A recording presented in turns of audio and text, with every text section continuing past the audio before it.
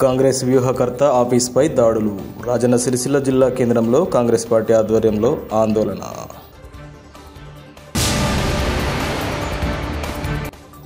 రెండవ రోజు సెస్ ఎన్నికలకు నామినేషన్ల దాఖలు. ప్రధాన పార్టీలు స్వతంత్రుల నామినేషన్లు.